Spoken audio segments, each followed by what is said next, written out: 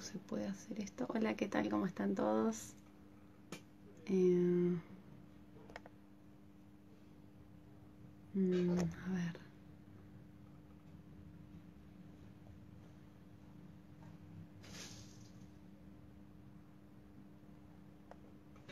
Hola, ¿cómo andan? Bueno, quería fijar el título de la charla de hoy, pero bueno, no puedo, no sé cómo hacerlo. Así que bueno, directamente la voy a invitar a mi, a mi entrevistada de hoy, que ya está conectada, que es Candela de Tripping Argentina, así que ahí Cande, ya te acepto.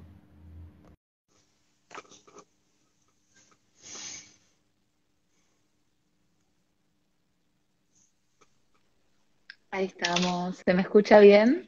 ¿Cómo andas? Sí. Bien, todo tranquilo, Flor. Bien, acá andamos.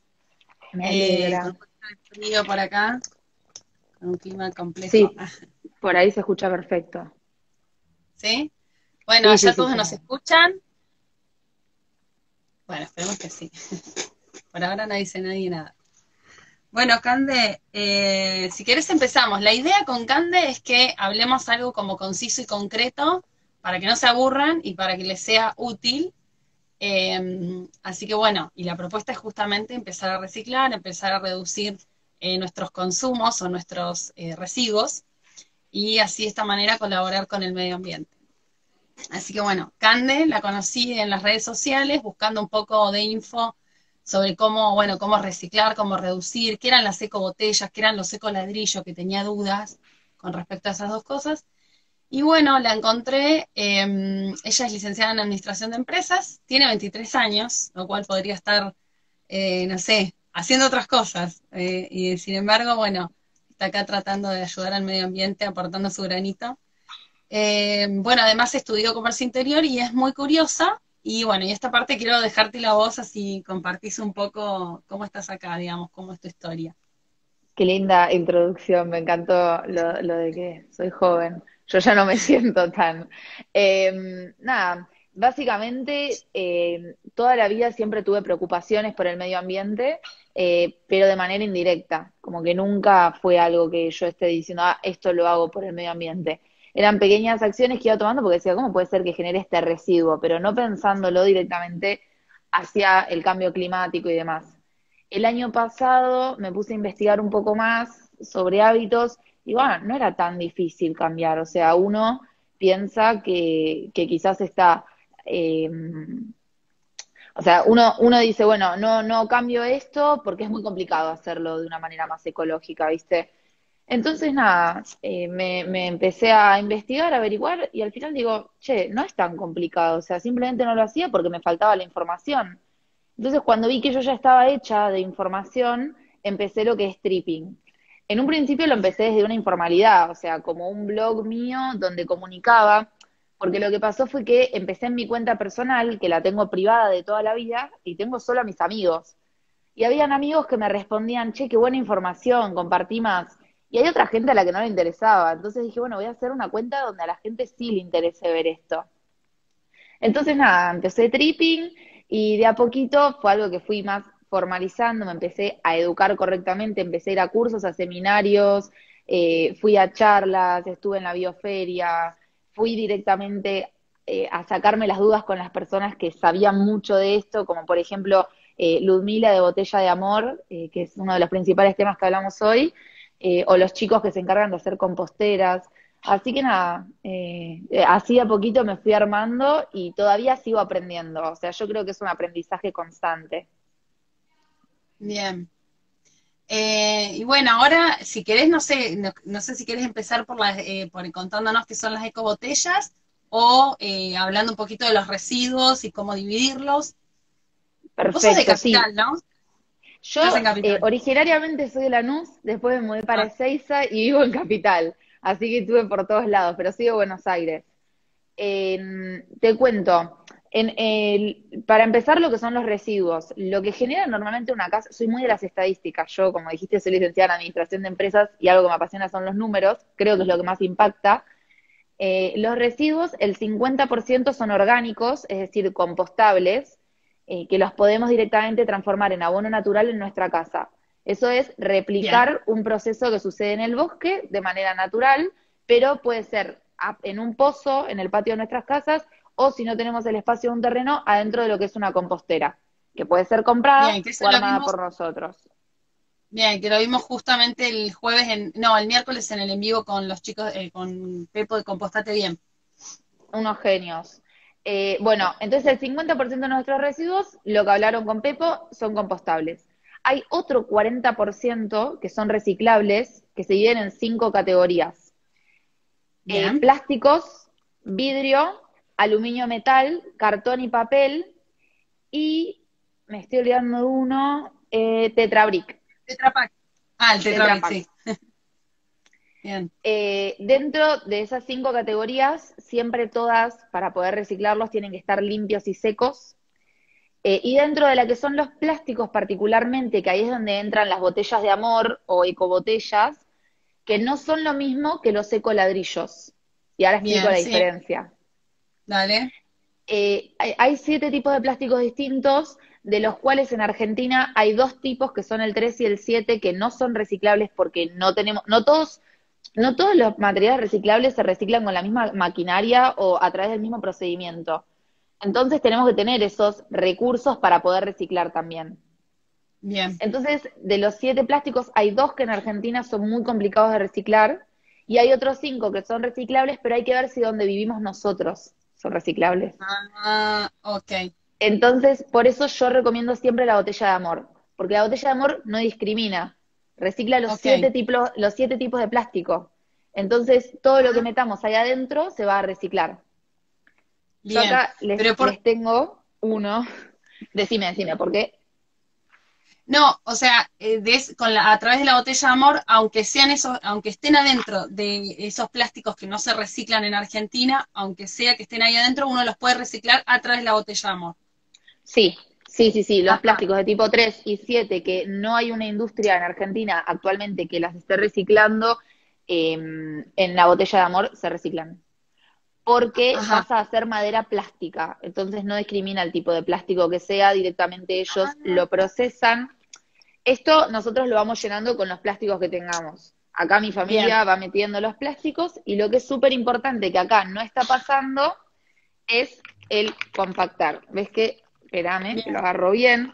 Si yo aprieto más, acá me queda mucho espacio, ¿ves? Todavía por llenar. Entonces, y esto que fue solo un apretón. O sea, la idea siempre es compactar mucho porque es cuanto más va a entrar. ¿Por qué se pide que se guarde en una botella? Por una cuestión de que el plástico suelto ocupa mucho espacio. Quizás esto podía ser una bolsa de consorcio entera de plásticos. Tal cual, sí, sí, sí, sí. Con la, la botella lo empezás a reducir todo. Total, al meterlo acá reducimos espacio, se nos hace súper práctico guardarlo porque tener un bidón así o una botella a ninguno de nosotros nos molesta guardarlo en nuestra casa. Sí, sí. Y eh, nada, lo, lo, vamos compactando. Se pide también por una cuestión de transporte, pero el tema es que cuando llega a la fábrica, al, donde está la fundación, que es en Bernal, eh, estas botellas las abren y procesan todo el plástico interior. O sea, todo lo que ah, nosotros metimos y compactamos adentro. Ok.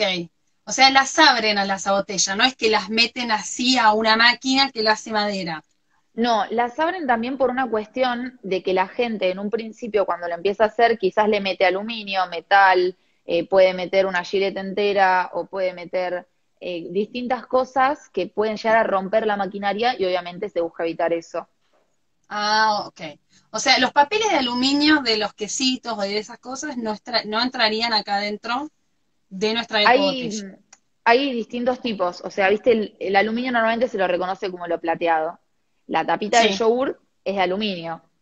Sí. Ahora, vos tenés una barrita de cereal que por dentro es plateada, que significa que está laminada, pero no es aluminio. Así que ese tipo de envoltorio sí va dentro de la botella de amor. Ok, perfecto. O sea, el otro no va y el otro sí. Ahora entendí.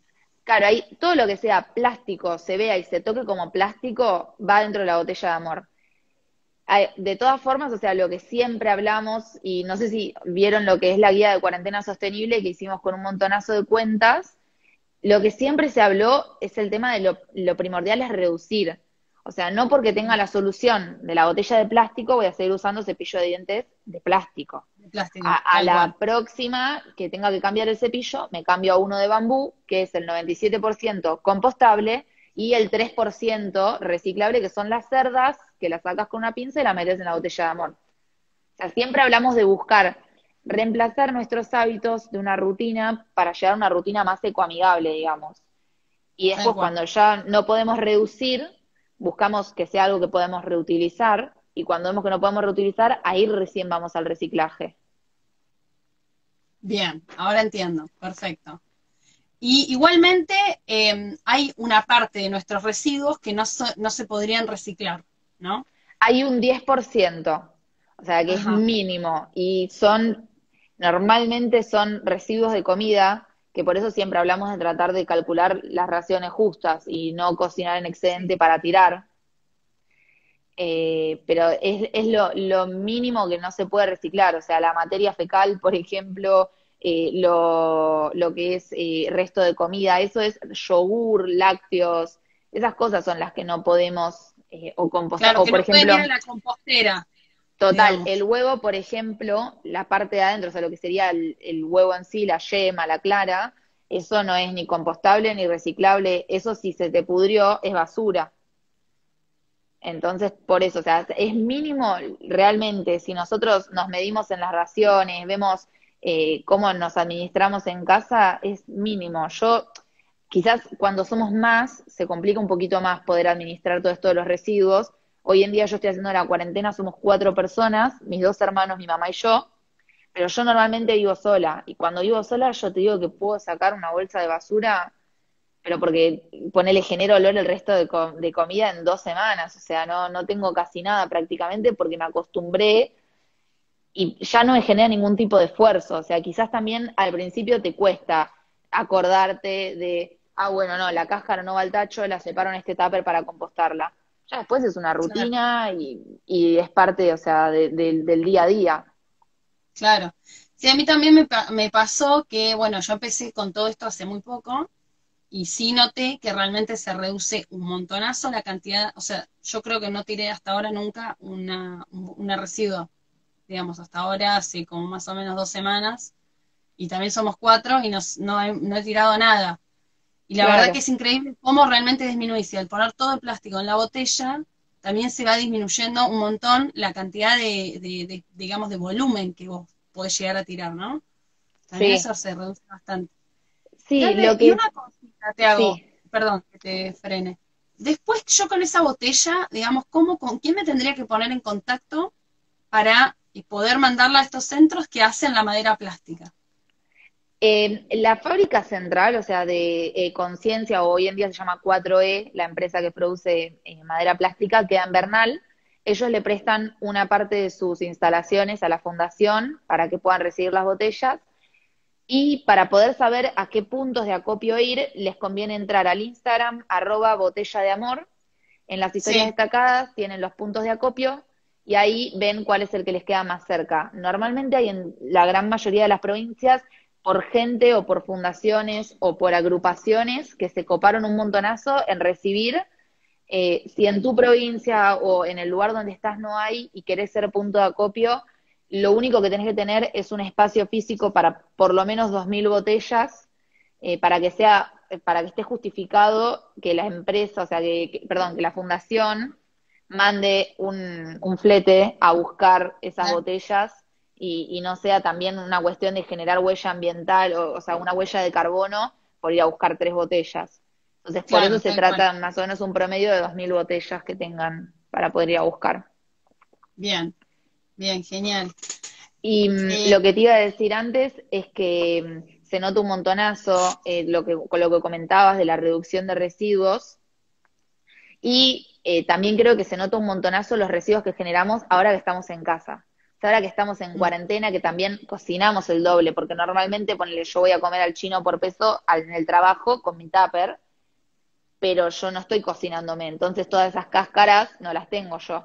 Entonces, nada, es como que hoy en día lo ves más, eh, o sea, lo, ves en, figura, lo ves ahí presente y decís, bueno, con esto que hago, ahora que tengo el tiempo, ya no tengo excusas, o sea, me tengo que hacer cargo de lo que estoy generando porque si no es una rueda que se sigue acumulando, es como una bola de nieve, ¿viste?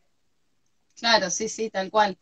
Mira, acá nos preguntan, porque vos también eh, vi que estás como embajadora de algo que me interesó mucho también, de los, eh, juntando las colillas de cigarrillos para armar em, ladrillos, que, se llama Cigabrick, ¿no? Sí. Sí, que me imagino que tiene todo un proceso, ¿no? Porque no es, no sé si es solamente con la colilla de cigarrillo que lo, que lo produce. No, son mil cosas juntas. Acá no tengo justo el ladrillo, me quedó en mi casa, si no te lo mostraba, porque tengo una muestra eh, veo acá que preguntaron dónde se envían las colillas de ladrillo. Eh, eh, perdón, las colillas de cigarrillo.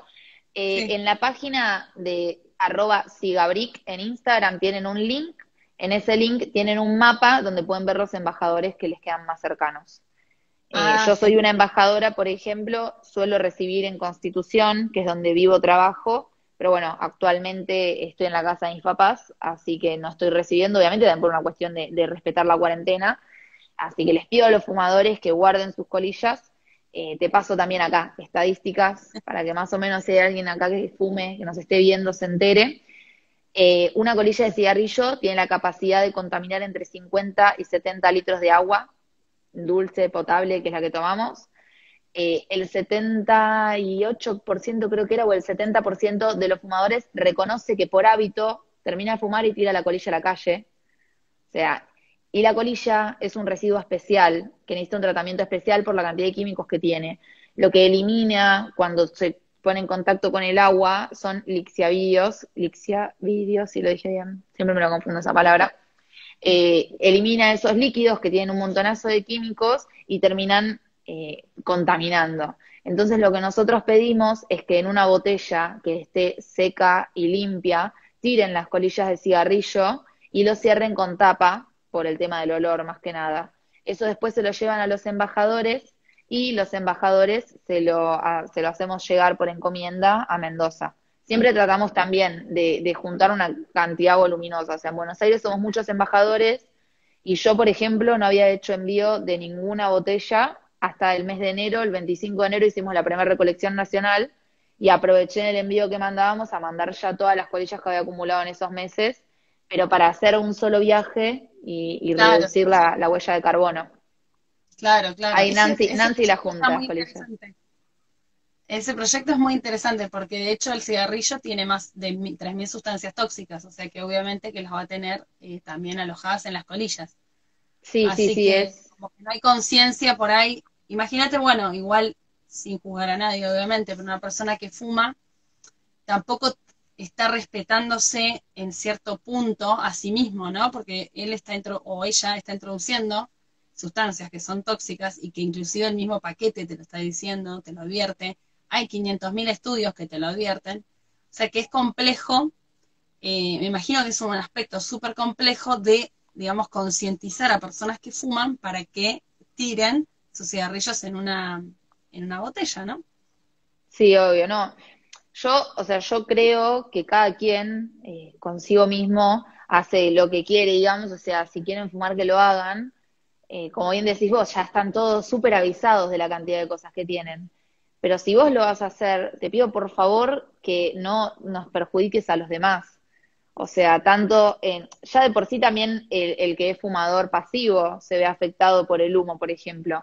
Entonces, evitemos que esa colilla termine como un residuo más en la calle. O sea, yo siempre trato eh, de no ir al choque, de explicar las cosas de la mejor manera y demás, porque creo que con la confrontación no se llega a ningún lado, pero sí cuando voy por la calle y veo que alguien tira la colilla, le digo, mira, disculpa, estás contaminando. No le digo, disculpa, se te cayó, porque yo sé que no se le cayó, yo sé que la tiró.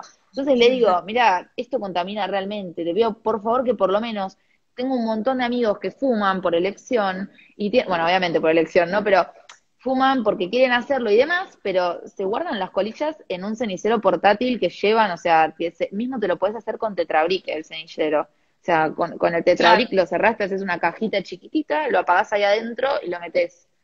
Y listo, o sea, la colilla siempre la metemos apagada dentro de la botella, eso de más aclarar. Obviamente. Sí, sí, obviamente. Acá Ahí veo que hicieron una pregunta. ¿Querés que la lea? Sí, sí. Lee tranqui que yo estoy tratando de encontrar, a ver. Dice, es muy complejo, yo por suerte cada vez...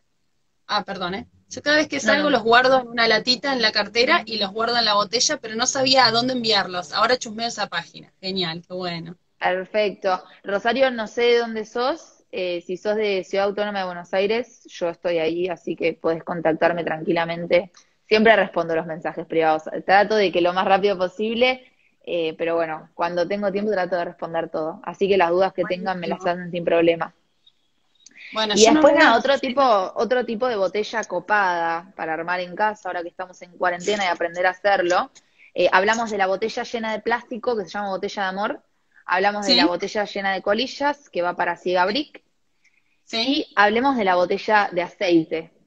El ah, aceite contamina terriblemente el agua. Entonces vos quizás, yo no suelo freír nada, pero si alguien fríe, o sea, cuando vas a freír tenés una cantidad de aceite importante, entonces está bueno que eh, con un embudo adentro de una botella juntamos ahí el aceite y queda todo acumulado.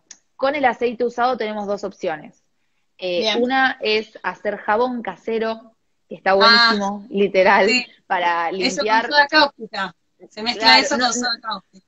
No para limpiarnos nosotros, sino para limpiar eh, superficies, las zapatillas, lo que sea que tengas que limpiar, está bueno. Eh, y la otra es llevarlo a un punto verde donde eh, lo reciclan y lo, tratan. Buenísimo. Yo si querés puedo compartir la receta de jabón, que es que, bueno, se hace con aceite. Yo obviamente son aceites que uso que son de, de, buena calidad, ¿no? Un aceite totalmente después de freír no va a ser lo mismo, obviamente, pero supongo que va a ser, digamos, inclusive hay una, hay una página que tiene una calculadora para saber la cantidad de aceite, la cantidad de soda cáustica, bien las cantidades, porque en el jabón tiene, eso tiene que ser muy preciso.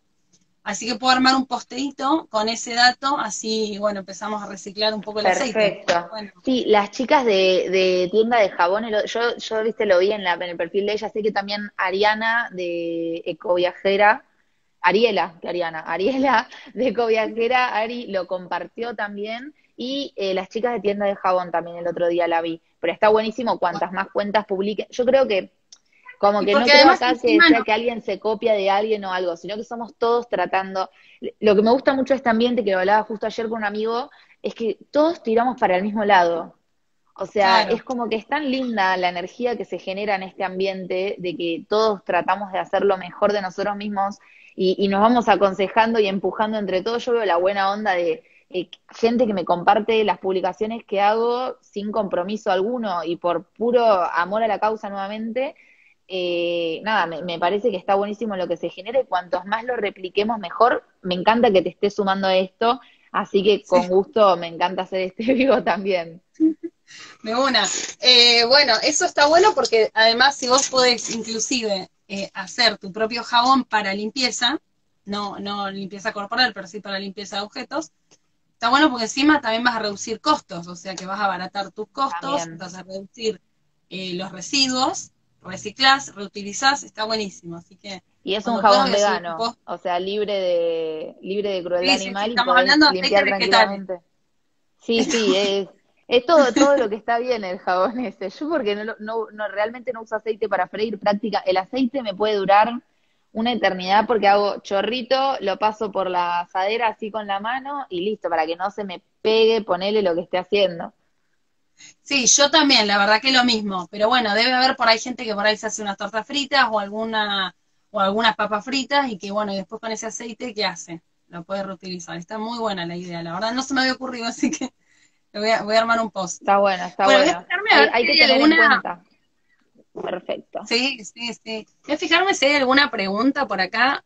Hola Pepo, ¿te compostaste bien? a ver. Ah, ¿sabes qué? Cande. Ah, para. Acá dicen, qué buena onda lo del aceite, ¿dónde se puede encontrar info de cómo tratarlo para hacer el jabón o llevarlo a algún lado? Bueno, yo me voy a encargar de hacer algún post si quieren. Y si no, vos eh, tenías ahí algunas páginas, ¿no? Sí, eh, Gaby, te recomiendo las dos páginas que yo vi que tenían eco.viajera y la otra tienda de jabón. en tienda de jabón lo subieron hace dos días, así que lo tienen ahí reciente el post. Buenísimo. Eh, ¿Podrías repetir las páginas para ver lo de las eh, ecobotellas, supongo que quiere decir? Sí, eh, hablamos de tres tipos de botellas que estaban copadas. Eh, la primera es la botella de amor, que es una botella llena exclusivamente 100% de plásticos bien compactados. No metemos nada que no sea plástico y si tenemos duda tampoco lo metemos. Me escriben, me preguntan, siempre plástico. La segunda botella, botella de colillas, eh, arroba siga brick. Eh, ah, igual les, comparto historias. Sí, sí, en, mi perfil aparece, embajadora de siga brick, sí. Em, y la tercera botella, la botella de aceite, que hablamos recién de hacer jabón, o llevarlo a puntos verdes para reciclar también. Perfecto. Bueno, Cande, eh, la verdad que está, estuvo muy linda este, este en vivo. Eh, no sé si alguien más tiene alguna pregunta. Igual la pueden seguir acá, ya sube bastante info ahí sencilla y concisa. Eh, su página es tripping.arg, tripping con doble P. Em, no sé si alguien tiene alguna duda o alguna pregunta que le quiera hacer a Cande. Eh, ¿Dónde podemos mandar el aceite usado? Recién lo dije que era lo de los puntos verdes. Em, y mm, nada, o hacer el jamón en casa. Bien, esa, esa me encantó. También hay otro tipo, en lo que es el aceite, lo que es las colillas, hablamos antes de lo que era el 100%, hago un repaso general. Hablamos antes de lo que era el 100% de los residuos en casa, 50% orgánicos, compostables, ahí estaban los chicos de Compostate Bien que lo hablaron el otro día. Eh, el segundo... Perdón, digo una palabrita, para el que no vio ese video, ya está subido al canal de YouTube, en, mi canal se llama Ayurveda Mesana, así que ahí pueden ver la entrevista que estuvo re linda, y Pepo nos explica bien ahí cómo hacer eh, la compostera en casa. Perfecto, buenísimo el dato. Eh, bueno, entonces el 50% orgánico compostable, otro 40% que es reciclable y finalmente el 10% que era basura. Dentro de los reciclables dividimos en cinco categorías, aluminio, metal, papel, cartón, vidrio, tetrabric y por último el plástico. Y dentro del plástico, como hay siete tipos y es muy difícil que en nuestra zona esté siempre la fábrica para reciclar, lo metemos adentro de la botella de amor. Y ahí hacemos madera plástica. Hacemos madera plástica con la botella de amor, totalmente. después tenés el 10% que es basura y después todo lo que son residuos especiales, que hablamos de las colillas, hablamos del aceite y bueno, si querés otro día hacemos el de mm, residuos, electrónicos. electrónicos y eléctricos y demás. Eh, tenemos ahí adentro lo que son las pilas, lamparitas, lavarropas, heladera, todo. Cultura del descarte ahí un poco, ¿no? Sí, la cultura del descarte y también la obsolescencia programada, que nos juega en contra, que a veces, o sea, no es algo que nosotros elegimos. O justo acá preguntaron sobre pilas y baterías. Eh, hago un, breve resumen de lo que es pilas, baterías. Eh, las pilas, yo siempre digo lo mismo. Ya las pilas que tenés, ya está, las tenés, gastalas hasta que no den más, las guardamos para mandarlas a reciclar. En el momento en el que tengas que ir a comprar, por favor, comprar las que son recargables. Bien. Y entonces así nos evitamos después volver a generar ese residuo. Hoy en día, en, únicamente en la ciudad autónoma de Buenos Aires, hay una ley para el tratamiento de pilas que se supone que las empresas que las importan o que las producen, Energizer, Duracell, otras, eh, se tendrían que hacer cargo de ese residuo. No lo están haciendo realmente. Y lo que se está haciendo es incinerarlas petrificarlas y así como están, o sea, hechas como si fuese una roca, se entierran en un terreno seguro en Santa Fe. Así que, por favor, compremos las recargables, porque realmente el tratamiento está, por lo menos es mejor a que termine en un relleno sanitario, es un poquito más copado, ponele, eh, pero nada, el otro día justamente un seguidor me contaba que creo que era eh, en lo que es el CONICET están trabajando eh, de poder reciclarlas y trabajarlas y demás, pero no, no, tienen inversión, nadie los acompaña, no los apoya, entonces nada. Tratar de, reducir siempre nuestros residuos, o sea, pensar, eh, en vez de comprarme una botella, miren lo que yo tengo que siempre, en vez de comprar una botella cada vez que voy caminando por la calle, ¿por qué no llevo la mía ya cargada de agua? Y si me quedo sin agua, tenemos, por ejemplo, lo que es Agua Nómade en Instagram, que te marca todos los puntos de Buenos Aires que te dan agua potable gratis. Ah, mira qué bueno.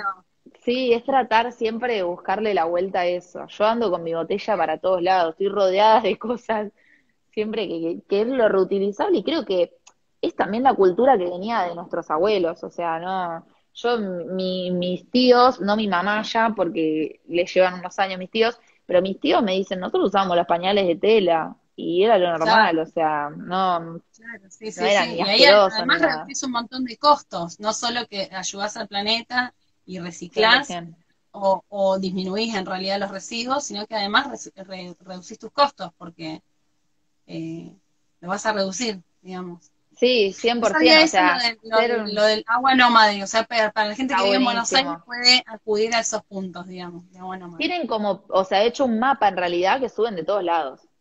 O sea, ah, va, por todos lados, sí. Y nada, volviendo a lo que decías de ser económico, yo creo que sí, o sea, ser amigable con el medio ambiente, al fin y al cabo termina siendo algo económico, mucho más barato.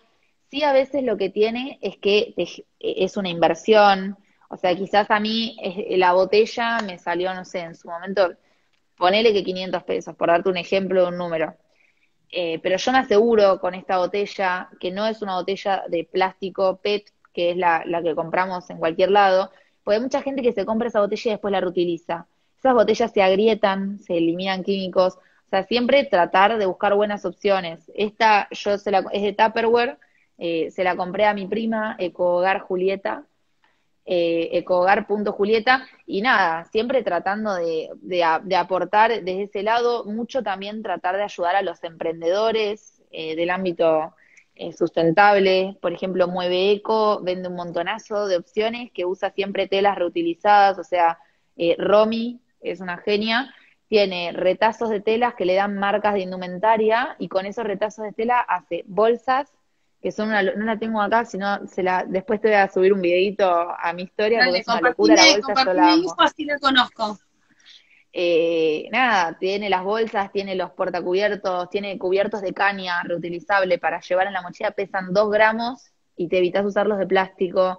Eh, siempre buscar esas marcas que nos dan opciones eh, para ser un poquito más ecoamigables, también saber el fondo de eso. O sea, mucho lo que tiene que ver con el medio ambiente es también el triple impacto, toda la gente que está en este ámbito que, busca aportar no solo desde lo que es económico y ambiental, sino también de lo social. Entonces, nada, está, yo, yo estoy contenta de este cambio que hice y realmente siempre suma. Sí, sí, creo que está muy bueno, así que bueno, te vamos a empezar a copiar un poco. Eh, así que bueno, no sé, si querés eh, decirnos algo más o si querés que ya finalicemos. No, lo cierro con la frase que digo siempre. Sí, si hay dudas, siempre bienvenidas. Pero lo cierro con la frase que digo siempre, que es que el cambio lo hacemos entre todos. Así que nada, yo creo que, los invito a ser parte, creo que es re posible, creo que nada es tan difícil como parece, o sea, son, no te pido que, que empieces compostando si te parece algo muy complicado, muy asqueroso, que realmente no lo es, yo lo disfruto un montón, pero bueno, no te pido que empieces por eso, empezá por el cepillo de bambú, que cada tres meses tenés que estar cambiando el cepillo y tu cepillo tarda 400 años en descomponerse el de plástico y el de bambú tarda 180 días. Entonces, replanteémonos los hábitos que estamos teniendo. Yo me pasa que antes, cuando, por ejemplo, después de esta charla, yo creo que vos vas a ir por tu casa y vas a ir, ay, esto nunca lo había pensado. Y a mí me pasó eso, yo empecé a leer artículos el año pasado, o sea, o el anterior, en realidad, más en lo que fue 2018, fue empecé a poquito, y en un momento digo, che, pero tengo que cambiar ya, o sea, y, mucha gente que, que, te tira abajo y te dice, eh, ay, ¿qué te pensás que sola vas a cambiar el mundo? No, yo sola no, estoy con un montón de gente, estoy con un montón de gente, no estoy sola. Entonces, cada cambio individual, y esto también es algo que dice Blonda Verde, que también a mí, a mí, a Aus, dice todo el tiempo, eh, vamos todos tirando de una piola Y, hasta que esto se va formando una bola enorme y somos un montonazo. Entonces, nada, los invito nuevamente. Ahí está Romy, Mueve Eco, justo que la mencioné recién, eh, que vende unos productos buenísimos, súper amigables con el medio ambiente y con telas reutilizadas. Nada, ah, ella los invito a ser parte. Sí, Mueve Eco. Ah, bueno, bueno, seguramente después te escribo, Romy, ¿es? Sí, Romy, lo más. Así me contás de tu proyecto invitarlas a, invitarlos a todos, invitarlas a todas, a todos a ser parte eh, del cambio eh, nuevamente, porque el cambio lo hacemos entre todos. De una. Sí, aparte yo creo que cuando uno empieza, eh, empezás a conectar con esta gente que ya está adentro haciendo el cambio, ¿no? Y que te puede enseñar y guiar y ayudarte para que vos logres hacer el cambio de hábito. En definitiva es un cambio de hábito. Así que bueno, Cande, muchísimas gracias. No, mil gracias por invitarme y nada, cuando quieras repetimos. Dale, de una. Te si te hacen dudas, me las pasan sin problema. Yo estoy siempre acá, me encanta, estoy ahí. sí, sí. Eh, bueno, el Instagram de Cande es tripping con doble p punto argentina, así que punto arg, perdón. Así que ella sube un montón de info bien concisa y detallada sobre cómo llenar las ecobotellas, bueno, las diferencias entre los residuos. Así que bueno, la pueden seguir y aprender un poquito. Eh, y bueno, te agradezco muchísimo, agradezco mucho a la gente que está ahí atrás mirando y bueno, empecemos a reciclar el plástico. ¿eh? Gracias, mil gracias. Mil gracias por la invitación, me encantó el vivo. Bueno, muchas gracias. Que tengan un excelente día. Chau, chau, chau, chau.